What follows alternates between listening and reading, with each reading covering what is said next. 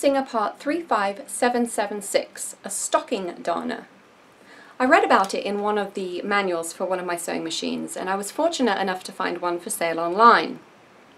Now if you're looking to darn socks and don't have one of these purpose designed gadgets, you can use a small embroidery hoop.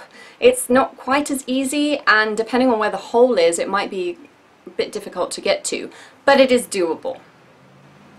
Greetings! Welcome to 24 Washington Avenue where I explore and investigate how threads from the past can still be used today. If you're interested in how I incorporate the old into my practical day-to-day -day life, please be sure to subscribe to the channel, check out other videos, and if you do have comments or questions, I would love to hear from you. Now let's go darn some socks. Here is the culprit sock. As you can see, the heel has worn through and the underside of the toes is also running very very thin. It hasn't actually broken so this one's going to be slightly more easy to do than the heel. But I figured that this was an excellent opportunity to introduce you to the Singer Stocking Darner. I bought this on eBay. It came without a box, but it did have the manual, which was nice. And basically this device holds your sock open, the elastic slips off, and it holds your sock in place while you use your sewing machine to stitch it back up again.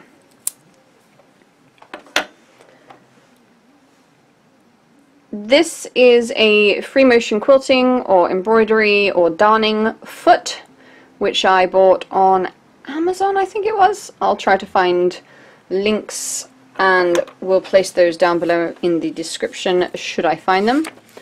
But the manual gives instructions on how to use this. And it starts by stating that, number one, the feed dogs need to be eliminated from the equation. Why? We're going to be moving this back and forth and round and round, side to side. And so we do not want that compression between the teeth of the feed dogs and the foot. So they need to be taken out of the equation. There are two ways you can do it. You can either use a cover plate, and this is the one they have in the manual, but I also wanted to show you a couple of other options. This is my British made buttonhole attachment which I'll have to cover in another video I suppose. It's uh, kind of fun because you adjust everything. You don't put the cartridges in like the uh, more common models have. But it comes with this plate that screws onto the base here into the screw holes and covers, it, it has a profile to it, so it ends up covering and allowing the feed dogs to operate underneath as they would normally do, but it allows you to move things over without the actual teeth pulling into the fabric. It's still a good idea to drop your stitch width all the way down so that the feed dogs are simply going up and down, not rotating the way they would normally do. And you can actually see on the back here where a previous owner had not done that and it's kind of eaten in. But that's their machine not mine. So this would just screw in here and it, you do want to use your Singer screwdriver for it because it, it has to go in quite quite tightly. And then you just continue as normal.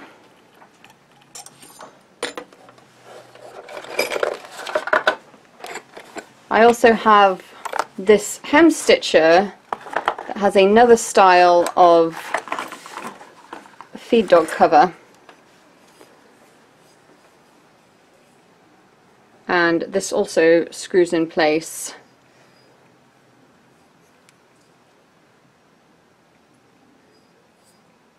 And the same thing it has that raised profile. This sticks up a bit higher than this one but both can be used uh, as alternatives to the one in the book. The other option, if you do not have a dog cover, is simply to put your stitch selector all of the way down and just move slowly. You can operate it with the feed dogs coming up and down without them moving back and forward. You just have to move more slowly, uh, you're slightly more restricted with the movement that you can do. To talk briefly about the darning foot or embroidery foot, if you watched my video, well either of the videos where I'm showing, showing how to patch with an embroidery hoop and the darning foot, it's, it's very similar. And rather than maintaining constant pressure on your fabric like your regular presser foot would do, this lifts up and down with the needle. So this bar here actually goes on top of the needle, so when the needle rises after a stitch is completed, this lifts up. But at the point, the, the, the important thing is that at the point where the needle goes through the fabric, gets hooked around the under thread, the, the bobbin thread, and pulls it back up again, if your fabric lifts at that point, the stitches won't form properly. So it's important that the fabric is flat on the bed while that stitch is pulled through and then it can lift. So that's why this foot is recommended because it is specifically intended to allow for the stitch to catch before the fabric's free to come up. Now as far as placing the sock into the tool, you slip the elastic off you put this where it needs to go so that the hole is centered and it doesn't matter if you do it one way or the other. What you don't want to do though is end up with the fabric from the sock pulled too tightly or too loosely. So you, are going to have to evaluate just what the best way is to do this. And this is a fairly round hole. I'm going to suggest that perhaps it's longer in this direction than it is in this. So I will orient the device in that direction and then just slip it through and put the spring band over top. Now from this point you can maneuver the sock as it needs to be. So you can see based on the lines whether it's pulling too far in one direction or another.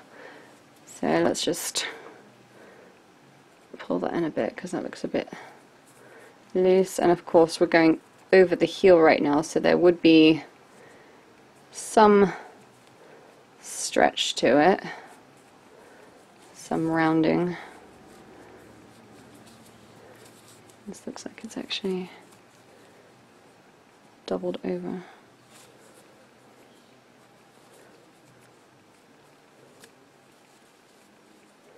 And again, you don't want it to be too tight, but you, you don't, certainly don't want it to be too loose either. I think that's probably as far as I want to go. Now, the book says at this point to cut excess threads away from the edge just to tidy up the hole. And where are we? Yeah, down here it says trim the hole neatly so that a ragged edge will not be left after the darn is finished. So I imagine Maybe we can see it better from the other side. You can see how this wants to fall back. So I'll just trim that off so that there's nothing that's rolling over. And I actually think while I'm here, I'm going to move it further down. So let's get all that sorted out. I've got this positioned in far better a way than it was before. The next step is to gather the rest of the sock around the outside of the ring so that you have clean access, uh, unhindered access to the to the center part where the stitching is going to be completed. So to do that, simply roll the sock down and then when the framework inside becomes visible you want to kind of push the edges into the fingers which then open to the outside to get all of that excess sockage out of the way. Move the toe out of the way so I don't inadvertently sew that in. So these just get bunched in. It really is a very clever little tool and I've done several pairs of socks using this. I mean, it's never going to be as soft a job as if a person were to take the time to fully go in and re uh, re-knit the socks but definitely faster alright so the next stage is to tidy up the edges because as I said they will try to roll back and we don't need excess. So that is now ready to go. I'm now going to remove my regular presser foot and position the feed dog plate and what I like to do is just pass the needle through the opening just to make sure that everything is centered the way it needs to be. And then screw that as far down as you can. Oh, today it's going in all the way. A lot of the time I will actually use a screwdriver to, to push that in, but it feels like it's it's caught, so no need to do that. Now to put the darning foot or embroidery foot in place. just make sure that this bar goes over top. So when this is pushed down, you'll see how there's a spring that compresses it. It holds it in place while the needle goes down. And when you lift up, right at that top part, the top part of the motion, the foot lifts up again. I'll just zoom in to show you more detail. So the static position with the presser bar, foot bar, whatever it's called, lifted up. Then that drops down. When the needle prepares to rotate down, the foot holds it in place. And when you lift it up, finally at the last minute, that foot lifts up as well, allowing you to move whatever material you have underneath. Now I use that demonstration to pull my bobbin thread up and over. And before we get started, I just want to read how it says, how the book says you should start. Run the machine slowly and move the darner steadily with both hands in time with the needle either back and forth or to the right and left. It is advisable to make two or three rings of stitches around any large hole as shown in figure 7, then start stitching from one side across to the other and gradually cover the hole with threads running in one direction, keeping in the outer ring of the outlined stitches. And just to show, you can see the outer ring in the picture, Now they're going back and forth, or right to left. Of course, before you can go any further, you need to get this in place, which means I have to take this off, because this won't fit under if this is in place. So, backing up for a minute. Depending on how thick your sock is, depends on how much of an easy time you're going to have getting it through. But because the arms are at intervals, you can compress fairly well. Just make sure you don't snag your needle and break it.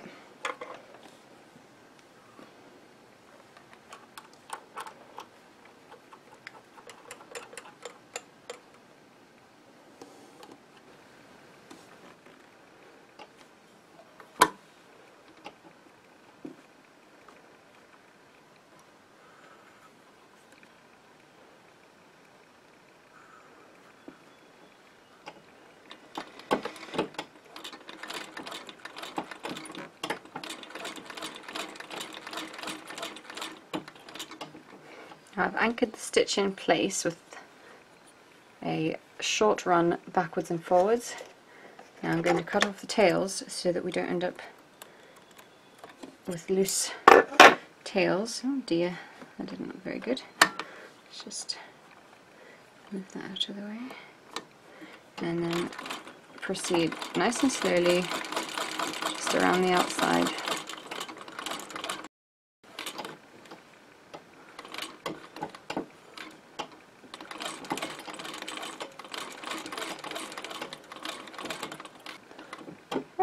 Sometimes you bump into the edge and so you have to just turn it so you have your clearance. And it is important to have a secure bound edge because if your stitching is really strong on the inside and really weak on the outside then the weak stitches around the outside are going to give way far faster. So where I'm seeing that there's evidence of thinning, I'm just going over that a bit more to ensure that we do get a really good outline. Okay, so now from this point I'm going to run back and forth trying to stick to the knitted rows just nice and slowly making sure that I pass to the edge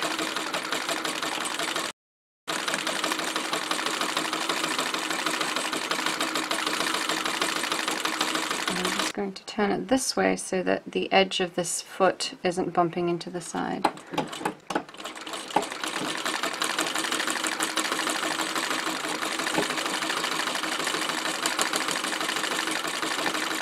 I'm still feeling that I'm bumping in here so we're going to change gear again and go from side to side this way.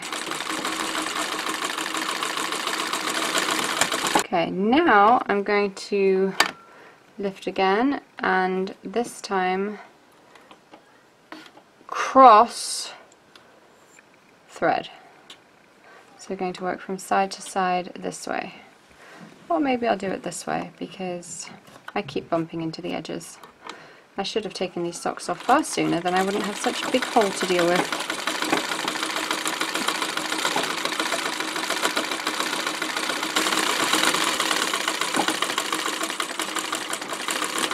And then to finish off, just go back and forth a couple times in the same spot.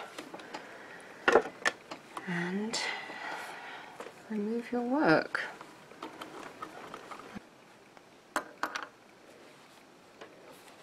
Just tidy up the edges. And then open up the fingers, remove the band, remove the frame,